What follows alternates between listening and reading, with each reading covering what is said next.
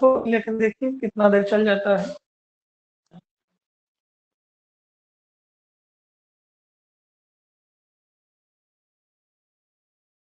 बात है कि इसलिए का शेड्यूल भी नहीं पता। कब करेगा हमको? Nucleic acid. RNA was the first material. RNA was the genetic material का पहला अगर जेनेटिक मटेरियल की बात तो वो है। में आरएनए जो होता है, वो जेनेटिक मटेरियल के रूप में काम करता है, जबकि बाकी जगह पर डीएनए होता है, जैसा कि हम लोग पिछले क्लास में भी चर्चा कर ली। दूसरी बात essential life essential life processes हमारे बॉडी को चलाने के लिए कुछ एसेंशियल चीज़ों की ज़रूरत होती है प्रोसेसेस की ज़रूरत होती है। सच एज सच एज कौन कौन प्रोसेस है? Such as metabolism metabolism translation translation splicing. Splicing. ये सारे प्रोसेस में ये एसेंशियल प्रोसेस है, ज़रूरी का प्रोसेस है।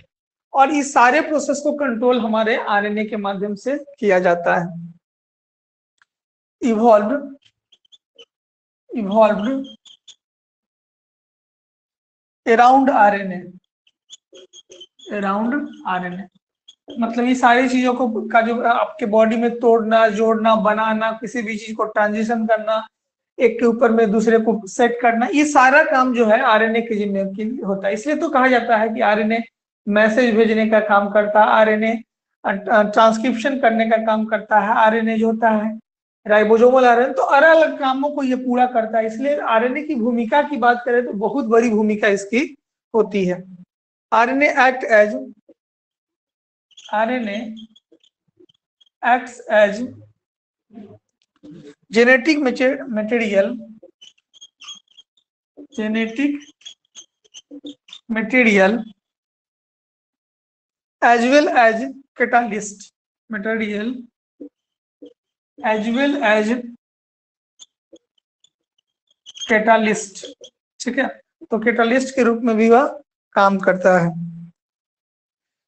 RNA being RNA being a catalyst was a catalyst was catalyst was reactive and catalyst was reactive reactive and hence and hence unstable unstable. Therefore dna has evolved. Therefore dna has evolved from rna evolved from RNA with chemical modification with आनंद। थोड़ा सा वो active कर दो तो अपना mobile से active कर दो तीस minute. Revolve from RNA which with chemical with chemical modification chemical modification that make it more stable that make it more stable more stable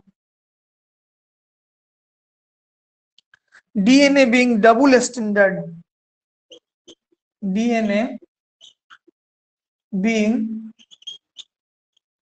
double standard and having double standard and having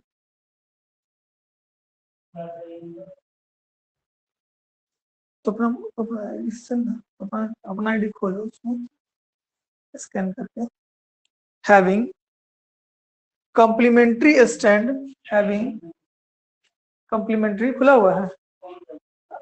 सवा नौ बजे वाला होगा। Twelfth ऊपर वाला having complementary stand having complementary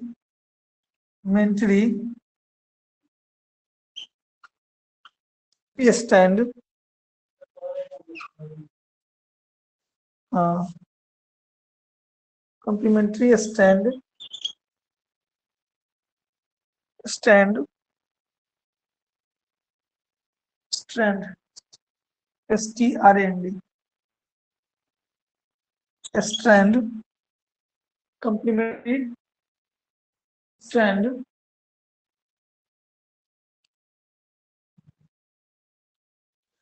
resist change. Resist change. सिर्फ़ किस तो अपना चालू करो ना सीधे स्कैन करो ना पर मेरे जो अकाउंट में पहले कौन सा दिया हुआ? मेरा जुड़ा हुआ है। पहले कौन सा लाइक करते थे पेमेंट कौन से अकाउंट में comment?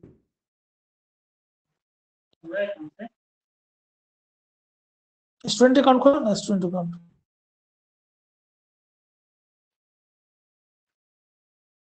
resist change change by evolving a process resist change evolving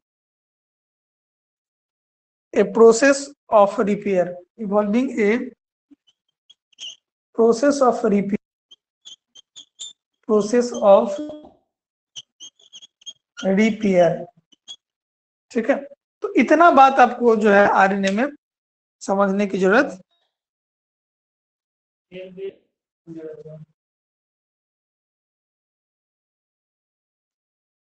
देखो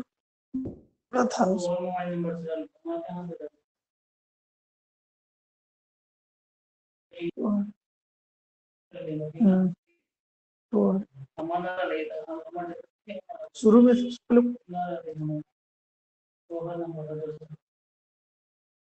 पता मैं बोला।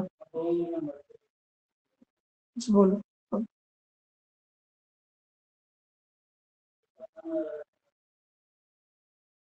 तो हर रास्ते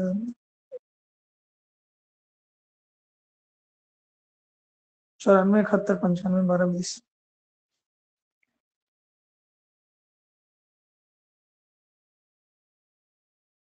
कथी ओके ओके करते रहता है यहाँ बुझाते नहीं रहता।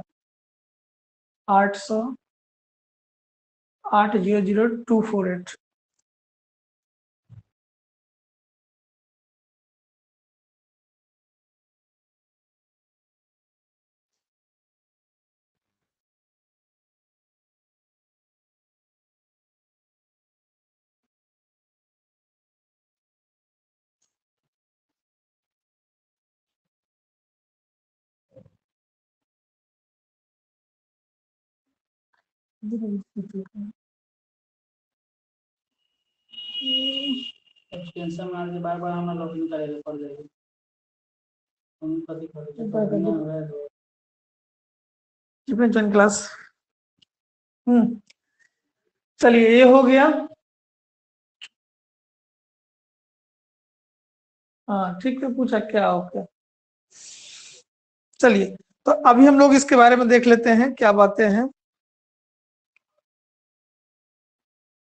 कह रहा है कि RNA was the first genetic material दुनिया में हमारे बॉडी अनुवांशिक चीज़ों को ले जा, ले जाने के लिए अनुवांशिक चीज़ जो होता है एक जनरेशन से जिन- दूसरे जनरेशन तक उसको ले जाने के लिए जेनेटिक मटेरियल की ज़रूरत होती है। तो आरएनए दुनिया का पहला ऐसा जेनेटिक मटेरियल है जो अपने गुणों को एक जनरेशन से दूसरे जनरेशन तक ले जाता है। दूसरा point essential life process such as metabolism translation explicit ये जो प्रक्रिया होती है जो हमारे बॉडी को चलाने के लिए संतुलित तरीके से बॉडी की एक्टिविटी को मेंटेन करने के लिए ज़रूरी होती है, जो आरएनए के पास है। तो ये सारे कामों को आरएनए है। RNA act as genetic material as well L catalyst ठीक है? या किसी भी चीज़ रिएक्टिव भी हो सकता है। दूसरी बात आरएनए जो होता है जेनेटिक मटेरियल होने के साथ साथ ये एक अच्छा कैटालिटिक रिएक्शन रिएक्शन करने में भी महत्वपूर्ण भूमिका प्ले करता है। RNA being a catalyst was reactive and hence unstable RNA जो होता है, वह रिएक्टिव तो होता है साथ ही साथ ये अनस्टेबल होता है। मतलब स्टेबिलिटी इसमें नहीं होती। जितना स्टेबिलिटी जितना अस्थाई डीएनए होता है, उतना अस्थाई आपका आरएनए नहीं होता है। Therefore DNA has evolve from कहा जाता है कि डीएनए को सब कुछ चलाने के लिए आरएनए की ज़रूरत पड़ती है। With chemical modification that make it more stable ठीक है? यह इसलिए होती है क्योंकि आरएन, डीएनए तो स्टेबल होता है और डीएनए के बदौलत आरएनए में भी स्टेबिलिटी आए, इसलिए। DNA being double standard DNA का जो स्टैंड होता है वो डुअल दो होता है, जिसको double helix helical and a complementary stand resist change evolving in a process of repair जो डबल स्टैंड किसी कारणवश कहीं पे डैमेज या कुछ होता है तो उस कंडीशन में आरएनए उस चीज़ों को रिपेयर करने का काम करता है। तो ये आपका राइबो न्यूक्लिक एसिड आपका आरएनए के बारे में हो गया। अब आपको पढ़ना है डीएनए और आरएनए में अंतर। बहुत इंपॉर्टेंट क्वेश्चन है और ये दो नंबर का क्वेश्चन है डीएनए और आरएनए में अंतर। पाँचों नंबर में पूछता है। तो दो से पाँच नंबर का के लिए क्वेश्चन है, जो अभी हम लोग देखेंगे। ये सब लोगों का हो गया है तो ओके कीजिए।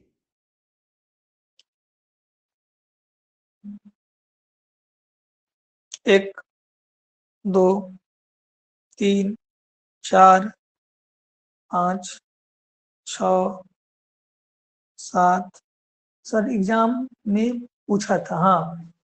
आठ, नौ, दस, ग्यारह।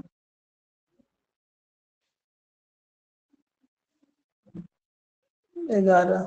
दो गो आदमी को मैसेज टाइप करने नहीं आता है, और मैं बुझ रहे हैं कौन होगा। और टाइम में मैसेज पचास में करेगा, आखिरी मैसेज नहीं करेगा।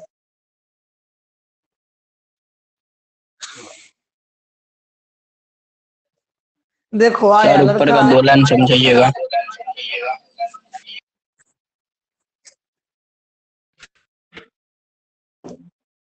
खतरा के खिलाड़ी ही लड़का लेकिन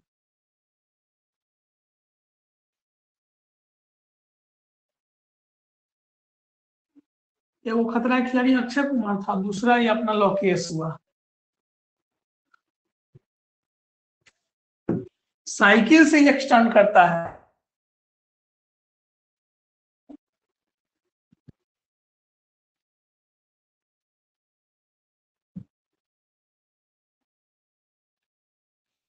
इसका साइकिल ये है साइकिल का नाम अलगे है। कब जहाँ पर दरभंगा में। चलिए अब हम लोग देखेंगे डीएनए और आरएनए में अंतर। Difference difference between DNA and RNA बहुत इंपॉर्टेंट है ये पूछता ही पूछता है। इस चैप्टर से ये टॉपिक हाँ राइबो न्यूक्लिक एसिड क्या है? अभी हम लोग आरएनए जो पढ़ रहे थे तो राइबो न्यूक्लिक एसिड नहीं था कि आरएनए जो पढ़ रहे थे कि सिंगल स्टैंडर्ड होता है अनस्टेबल होता है मेटाबॉलिक रिएक्शन में मदद करता है तो वो आरएनए नहीं था। राइबो न्यूक्लिक एसिड आरएनए हो गया। इसने इसने से पागल होता है मास्टर और झारखंड के ब्रांच ऐसा में भर्ती हो जाता है। ये लड़का सर बोल रहे हैं सर कि आरएनए क्या है सर? तो सर को पागल करने का एक ज़रिया है। अब ये आरएनए पढ़ रहा फिर राइबो न्यूक्लिक एसिड क्या होता है? ये लड़का आरएनए जो पढ़ा है वही ना तो राइबो न्यूक्लिक एसिड है। भूल गए अपनों सनकता है दूसरों को सनकाता है। पहला पॉइंट डीएनए के बारे में देख रहे हैं। The sugar protein sugar protein the, the sugar present in sugar present in in deoxy deoxy ribose ठीक है तो डीएनए में क्या प्रेजेंट होता है सुगर प्रेजेंट होता है चलिए आरएनए की बात करते हैं the sugar present in ribose the sugar present in ribose देखिए, इसमें शुगर होता है और इसमें क्या होता है? डीऑक्सी राइबोज शुगर होता है। तो दो तरह का शुगर हो गया। दूसरा point nitrogenous nitrogenous base present present are are adenine guanine guanine, thymine, and cytosine and cytosine. इसमें एडनिन ग्वानिन थाइमिन और साइटोसिन प्रेजेंट होता है।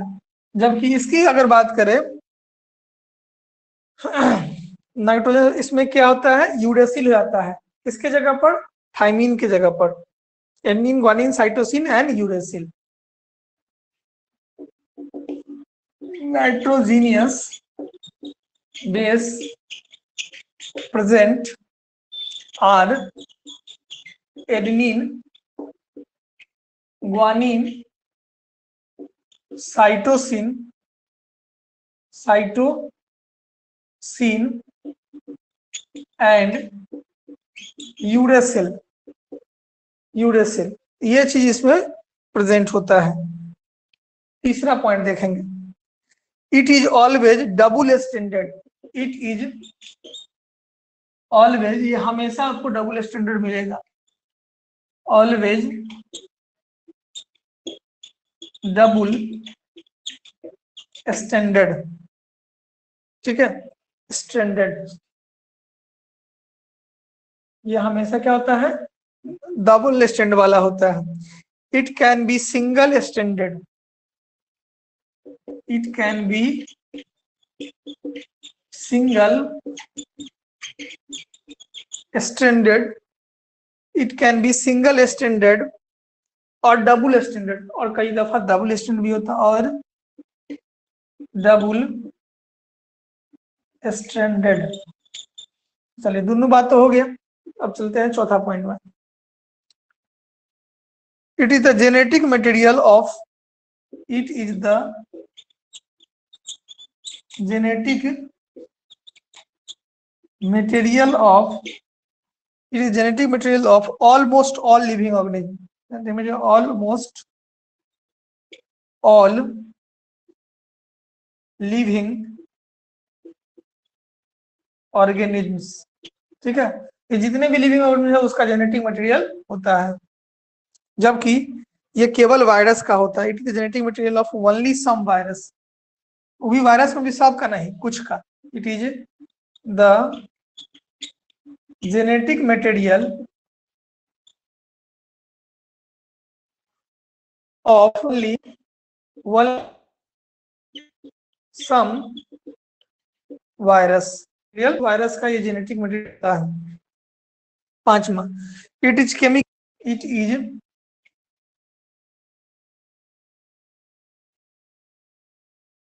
chemically reactive is chemically react is chemical react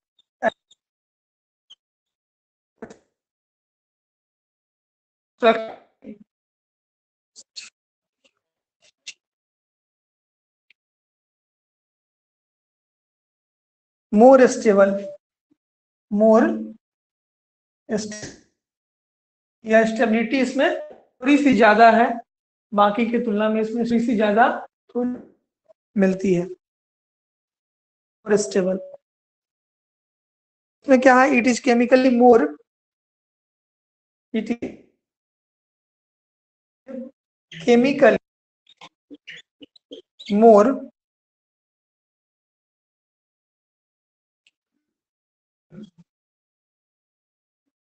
chemically reactive लेकिन structurally less stable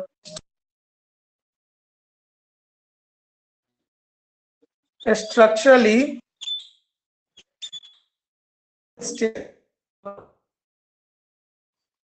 ये topic आपका भैया समाप्त इसको पहले लिख लीजिए।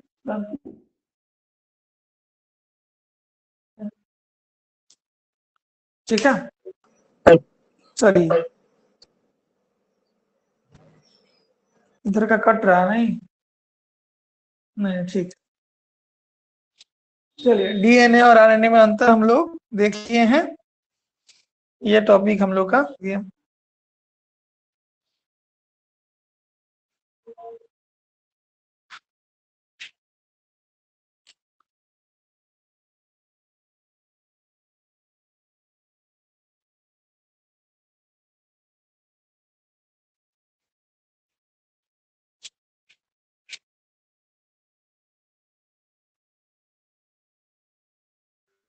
समझते हैं। सुगर प्रेजेंट इन डीऑक्सीराइबोज ठीक है?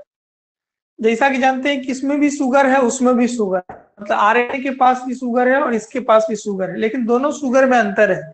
ये डी राइबोज शुगर है और सीधे वो राइबोज शुगर है। आरएनए वाला में क्या है? सीधे राइबोज शुगर है और डीऑक्सी राइबोज शुगर होता है। Nitrogenous base present are adenine guanine thymine and cytosine nitrogenous base जो प्रेजेंट होता है, वो कौन कौन होता है? एडनीन है ग्वानिन है थाइमिन है और साइटोसिन है। जबकि उसमें क्या होता है? है ग्वानिन है थाइमिन है और यूरेसिल है। तो दो बात हो गया शुगर के बारे में बात हो गई और नाइट्रोजनस बेस के बारे में बात हो गई। अच्छा रुके चलो, रुकते हैं। हो जाएगा तब बोलना।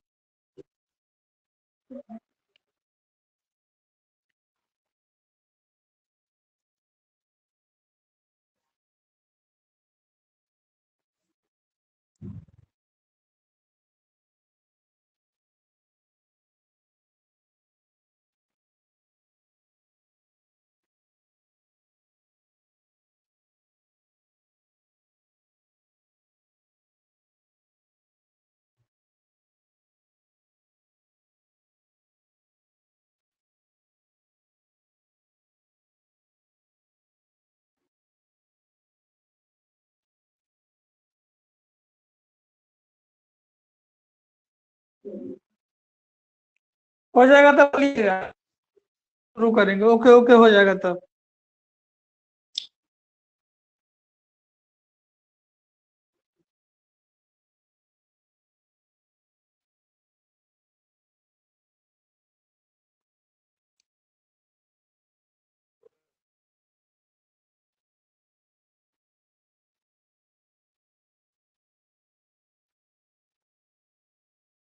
आरोही तुम लिखती हो ठीक है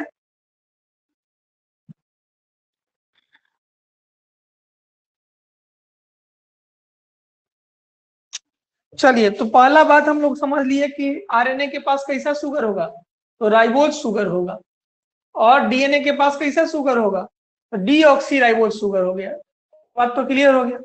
दूसरा नाइट्रोजनस बेस जो प्रेजेंट होगा डीएनए का, उसमें एडनीन होगा ग्वानिन होगा और साइटोसिन होगा। जबकि आरएनए के पास जो नाइट्रोजनस बेस प्रेजेंट होगा, उसमें एडनीन है ग्वानिन है साइटोसिन और लास्ट में थाइमिन के जगह यूरेसिल होता है। हो गया? तीसरा point it is always double standard इसमें क्या होता है कि दो स्टैंडर्ड वाला होता है। डीएनए कैसा होता है? डबल स्टैंडर्ड होता है। जबकि ये जो होता है सिंगल स्टैंडर्ड हो सकता है और कभी तब कभी कभी डबल स्टैंडर्ड भी हो सकता है। ठीक है? चौथा बात चौथा बात क्या कह रहा है? तो चौथा बात, तीसरा बात क्या कर रहा है कि इट इज़ हाँ ये चौथा बात कह रहा है कि it is genetic material of almost all organism जितने भी दुनिया के जीव जंतु हैं, उसका जेनेटिक मटेरियल के रूप में आपका डीएनए है। जबकि आरएनए के बारे में बात किया जाएगा तो आरएनए जो जेनेटिक मटेरियल है, वो वायरस में है, वो भी सब वायरस में नहीं, कुछ वायरस जबकि पांचवा बात के बारे में कह रहा है कि it is chemically less reactive and structurally more stable ये क्या होता है? केमिकली मतलब रासायनिक रूप से इसमें जो मटेरियल होते हैं, वो कम रिएक्टिव होता है। नहीं होता है। लेकिन स्ट्रक्चर से जबकि आरएनए की बात करेंगे तो इस ये केमिकल एक्टिव होता है, लेकिन स्ट्रक्चर बहुत कम स्टेबल होता है। अगर याद, ये पाँच पाँच नंबर अपने पॉकेट में रख सकते हैं पर्स में रख सकते अपने झोड़ा में रख सकते हैं, ठीक है? अपने मुट्ठी में रख सकते हैं। लेकिन पाँच नंबर मिनिमम दो नंबर मैक्सिमम पाँच नंबर। इरट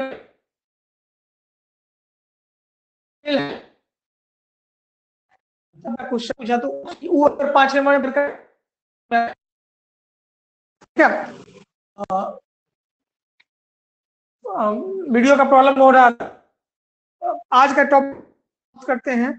अगले दिन हम लोग नया टॉपिक कुछ जो है आ, देखेंगे। डीएनए रिप्लिकेशन है। टॉपिक और ये दो क्लास के लिए आशा करते हैं कि उस दोनों टॉपिक में आप प्रेजेंट रहेंगे।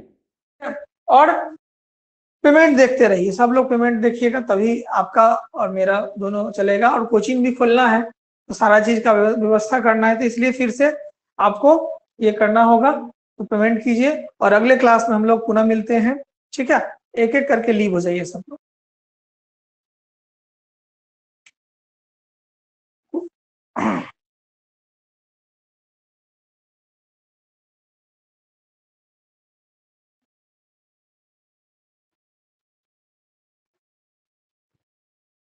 कामरान स्क्रीनशॉट लेके भेजो था मेरा फ़ोटो को।